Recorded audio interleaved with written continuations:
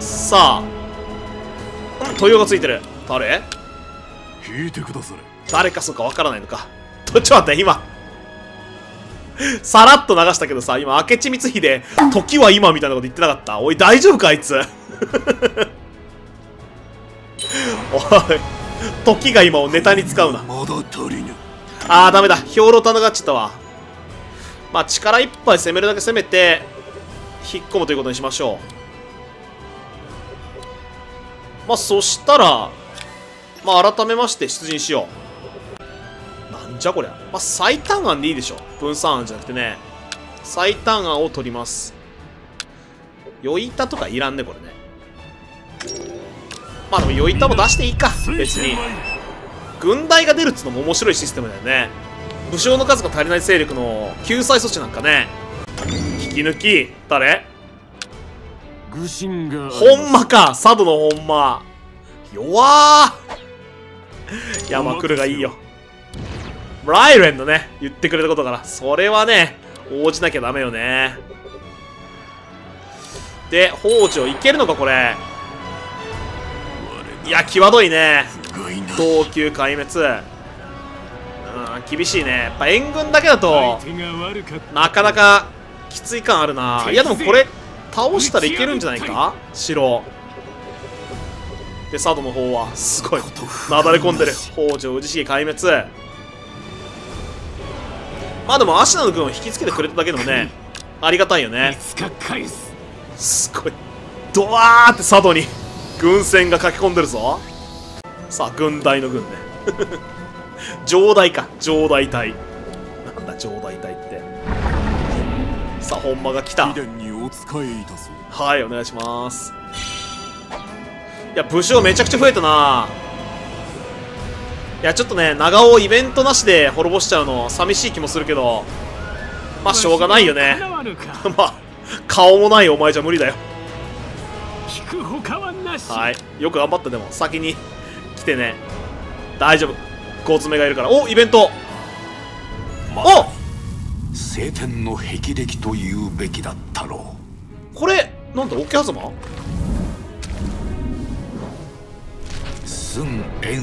桶狭間だ！街道一の弓ちょちょっと名待って桶狭間完全に今川領なんだけど。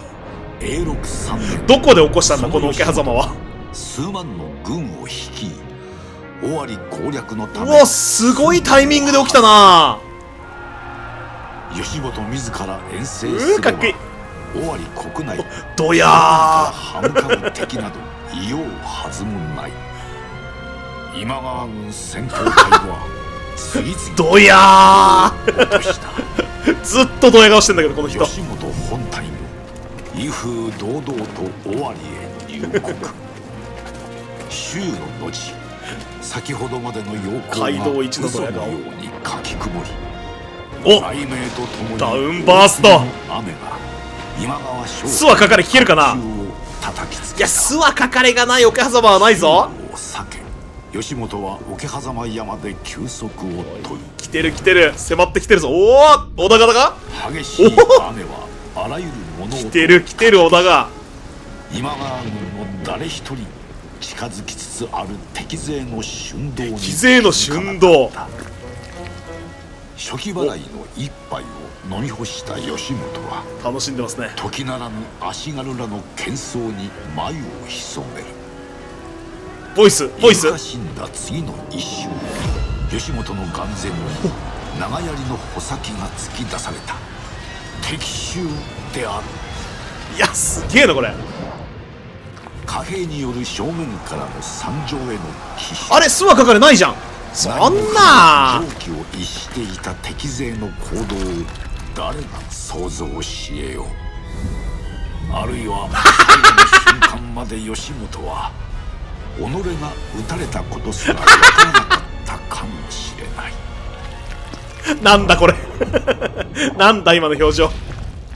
尾張遠征は唐突に終わったおお ちょっとこれ締めがかっこいいよな。おおへの習字は街道一の弓取りからはい。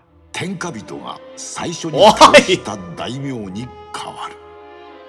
なるほどね。いや、うまいっちゃうまいけどね。奇襲の成功に満足おい、出たぜ。どやー。吉本を踏み越えて天下へ駆け上がる男お今目がキラッとおい織田信長おお見事いや、巣は書かれなかったのちょっと残念。ちょっと待って、でもこれ。吉本死んだぞ。えこれ三国同盟、瓦解すんじゃね？このまんまで。おい。台風をやめちくり。ねえ、三国同盟。いや、これすごいタイミングで起きたな。え、だってこれで三国同盟が、瓦解したら、我ら今川に行けるってことでしょ？あ徳川。あれ？さっきこの城。あれ？この城織田方でしたっけ？どこで桶狭間は起きたんだよ。言ってみろ。もう桶狭間じゃないじゃんだって。桶狭間の戦いじゃないじゃん。でも無理くり桶狭間にしちゃう。それでいいよね。いやーでも本当にすごいタイミングで起きたね。これで天球が当然動くでしょ、こっち側に。これそしたらさ、松尾城もさ、いや、商用権を、商用権だから越後にやろう。商用権多分今暇してるよね。だから、天保でもって、えー、移動。酔板へ。で、酔板を商用権のものにして、で、この岩村城を天球の軍に編入します。で、こうすれば天球を西側の攻めに使えるもんね。完璧では。で、いざとなったら西側の今側の方にも向かっちゃえばいいし。で、方針はもう委任攻略で。まあ、委任攻略っつうか、攻めるところただ一つだからね。松平に行ってくれるはずだけど。いやー、タイミング。パーフェクト。ちょっと金銭収支マイナスってね。あ、っていうのは、松尾を向こうにやったからか。なるほど。そして風文が起きてるんだよな。行きますか、小田家で起きた事件のいきさつ。聞かせてくれい。吉本の死。なんで？なんで吉本氏で影虎が出てくんだ？よ。影虎これっぽっちも関係ないじゃん。ねえ。まあ見ていきましょう。アイスは書かれ。桶狭間の戦いにおいて、吉本の首を必ずあげんとの織田軍の執念は凄まじく。信長も馬を降り、馬回り衆を引き連れ、増票に混じって自ら刀を振るい、幾度も跳ね返されながらも今川軍中枢を追い詰めていったと伝わる。いやしかしさ今回の今川軍が中心の描写だったよね。だからこれもねすごく新しいよね。今までだったらさ桶狭間の戦いっつうとさイベントでシューン巣はかかれっつってさでテレリンテレリンテレリンテレリン織田信長は今川義元を討ち取ったみたいになるじゃん。それもすごく新しいよな。いやだからねまあ意表は疲れたけどいいイベントであった。巣はかかれやだってね、まあそれこそ大使とかさ、想像で聞けばいいもんね。そして、申し上げます毛利晋介様、敵将吉本を討ち取ったとのよし。妨害の喜びよ。喜んでおる。首を改める。すぐに持ってこい。はこちらに。これが街道一の読み取り。今川、事務大夫か。これが、俺を長年苦しめた者街道一のドヤ顔だよ。重き首よ。されど人の首は小は狩るき者ん？これは創造左文字か？はっ！吉本が常日頃指していた太刀にございます。そうだね。信長は吉本の所持していた創造左文字の太刀にこう刻み自らの哀悼にしたと伝わっている。永禄3年5月19日、吉本を討ち取ったる時、彼の所持したる刀。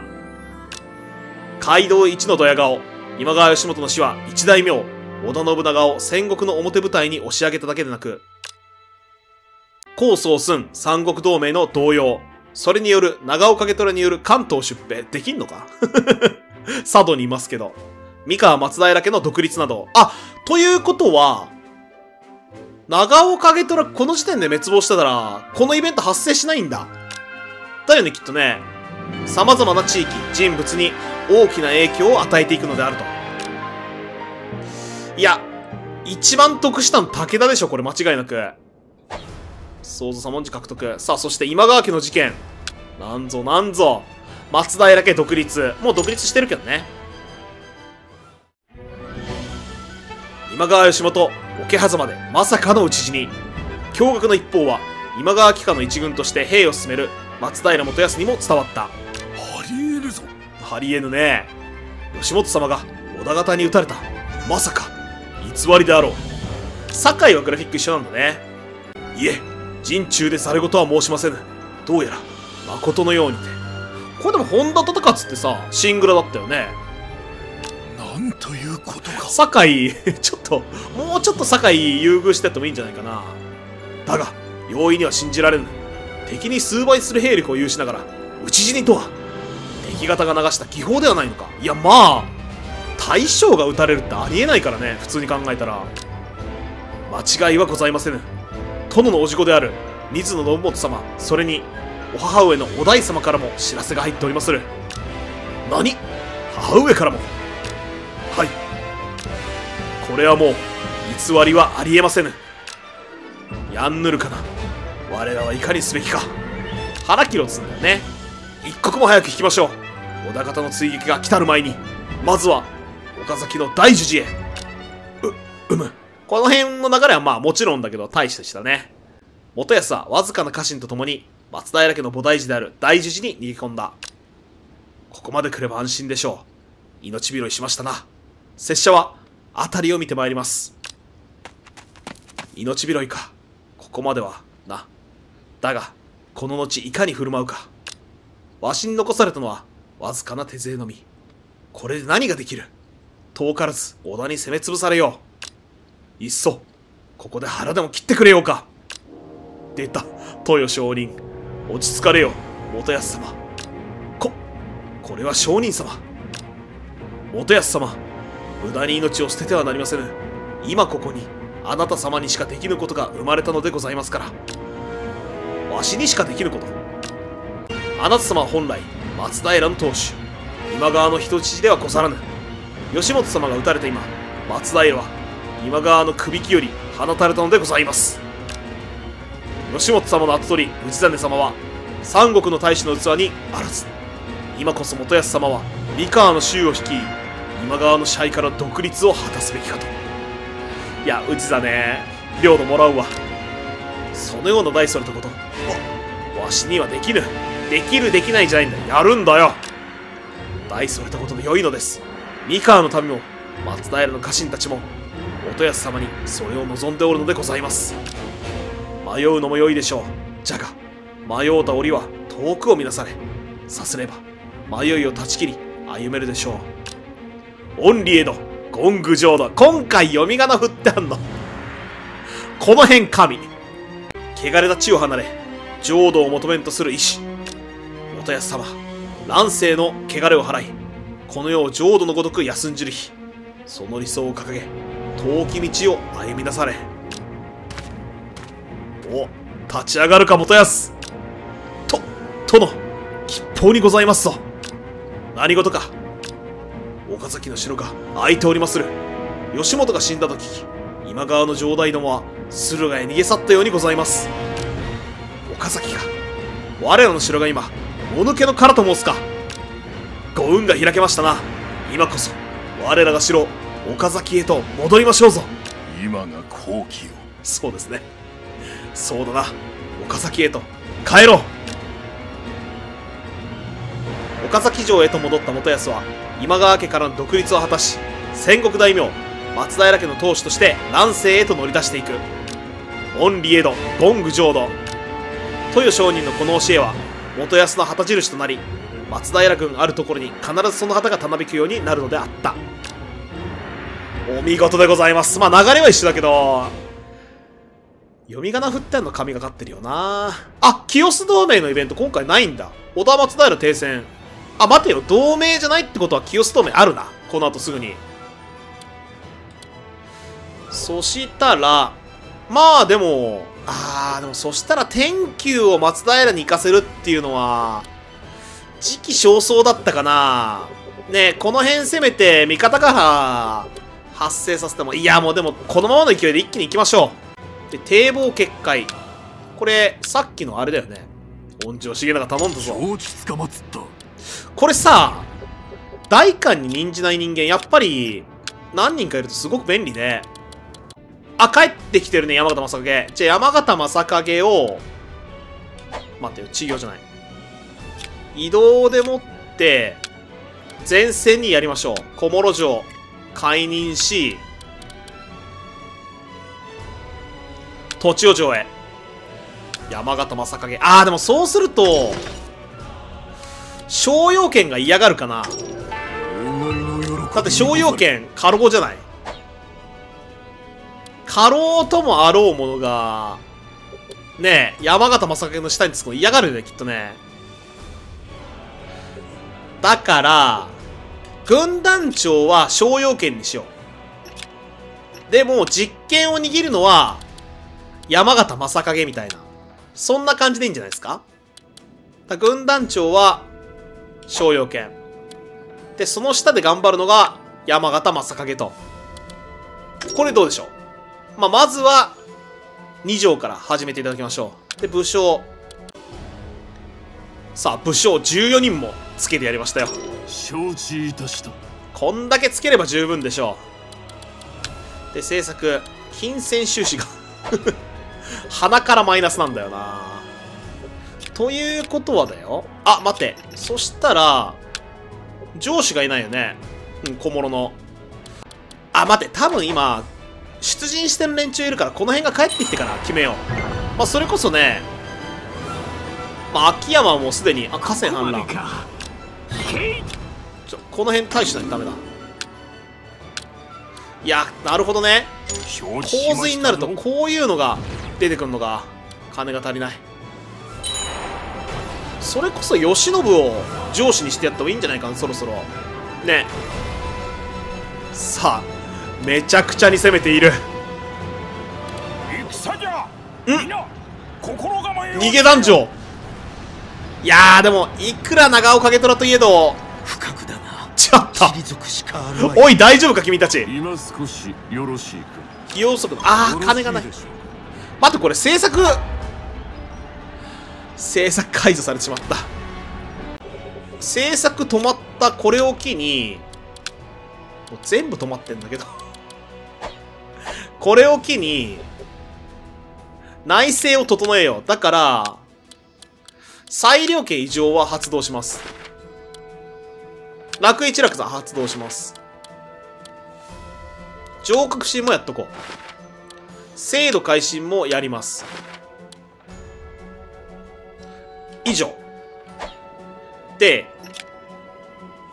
バリバリ内政しよ攻めう。よーし、沢田城。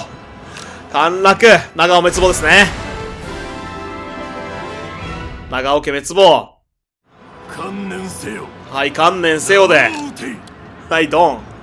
影虎来ねえかな 影虎来てくんねえかな来いいやー、来ねー来たんだったら、ここ影虎になるもんね。使えはですよねー !4 名の失敗。影虎、吉清、正影、成政。あーなんか来なそうな連中が、いかにも来ないなっていう連中が来ないんだね。へー。いや、これ、影虎切っとくべきのような気がするぞ。切らんと後が怖い。いや、でもな、切るのはやっぱり、心苦しい。めちゃ加わったんだけど。沢田城。まあ、ここはね、商用権のタイに編入しましょう。帰還させます。これで、さらに、武田家は飛躍できるかなで、続き先方。ここのそっか、浄化施設でもって、商人町の増築、今のうちにしちゃおう。で、交渉も止まってるっつってたよね、北条と。これでもさ、これで、武田信玄の今川攻めのイベントが起きたら、当然北条とは切れるわけじゃないですか。そしたらどうするかだよないや、まあ、勢力の規模的に、いや、でも北条でかいね、こうやって見ると、やっぱり。ね武田と競ってるよね。うーん。いや、厳しいことになりそうですなまあ、何はともあれ、まずは長尾を滅ぼすことを喜びましょう。進めていきます。まあ、しばらく、山之内勝つとよ。なぜあ、強い？これより集金に励みます励んでくれ。いや、強いね、かつてよね。そんなに強いんだ。まあ、桶狭間の戦いが起きたから、こっから先、天下が大きく動くよね。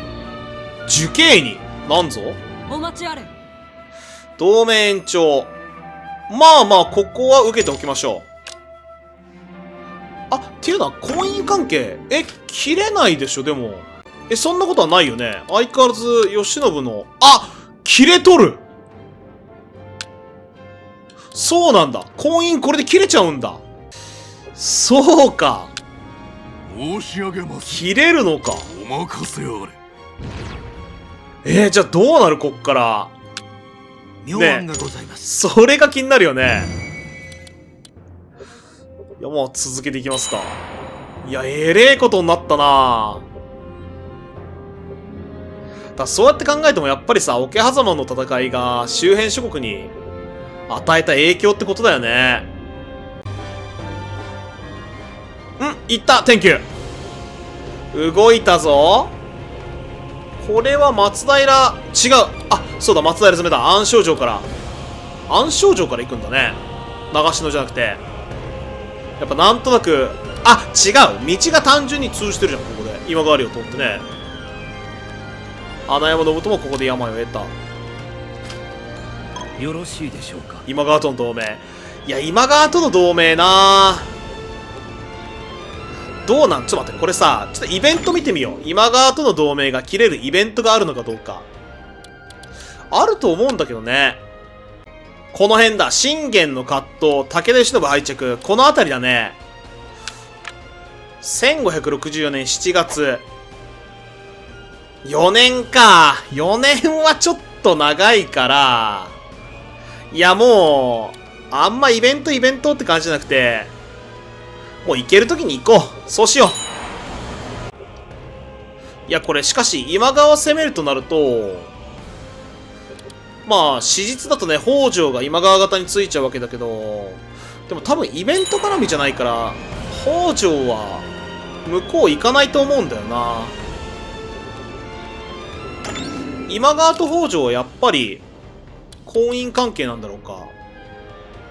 婚姻してないよね、ここね。今川と北条。ということは、いや、北条こっちつくじゃん。あ、最高。ゲーム的に最高だわ。歴史的にはあるかもしれないけど。ねえ。そしたら今川同盟切って、待てよ。だったら今のうちに今川の援軍使っちゃおう。今川の援軍を使って、ここ、長篠、攻めさせよう。ちょっと待って、1200とか書いてある。話はまとまったなえ、今川ってそんな兵いないの？いるじゃん。3000。穴山信友、そろそろ寿命近づいてきてんのかね？しかし、織田が動かないね。まあ、動けないのか、1400じゃ。いや、これも天球、厳しそうだな。皆あ風文ある見逃しませんよ、風文。罹患の刑。これはもう出るたびに撃とう。頼むよ、勘助。そして風文。三好家の事件。なんぞ？四季山城の天守。ほう。なんだろう。弟、長頼の武功を利用し、主君、三好長家の側近となるや、異彩を発揮して、三好家の事務、所持、万端を司ってきた、松永久秀、腕組み久秀ね。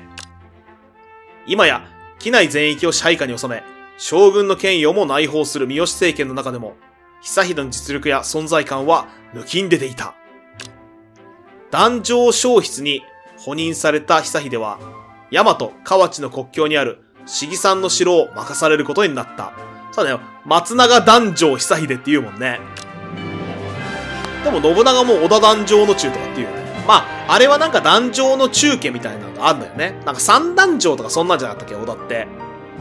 大和には幸福寺の暴漢をはじめ、三好家の支配に服さぬ武士が多い。河内にも接する、この城を大和支配の拠点とすれば。されば、このような貧相な城ではいかぬ。